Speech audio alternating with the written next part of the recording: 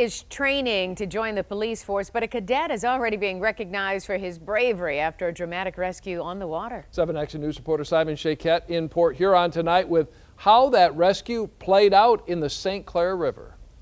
The term humble hero really applies here. That police cadet says he knew exactly what to do when he saw two young girls go under here in the water. 19-year-old Joseph Holzberger might be young, but he's already proving he's got what it takes to save a life. Just last night at the foot of Griswold Street, where many children play, he was on a fireworks patrol and noticed two girls ages 9 and 13 in trouble. I heard uh, a woman scream for help um, by the water that was right there. They were going underwater and they were resurfacing back and forth. Um, one of the girls noticed me and she kind of did a little wave to me and screamed for help and then she went back under. Joseph has never been a lifeguard, but that didn't stop him from pulling the girls out safely and returning them to shore. I told Cadet Shouty to radio for help and I told uh, Cadet Bishop to uh, kind of watch the shoreline for me and make sure uh, the girls were in my line of sight. They pushed me down underwater at first and then I was, I was prepared for it and I resurfaced and kind of like grabbed their arms to kind of get them to stop resisting a little bit and then um, pull them in closer. The girls had been swept away from the sandbar and were still out of sorts, but later were checked out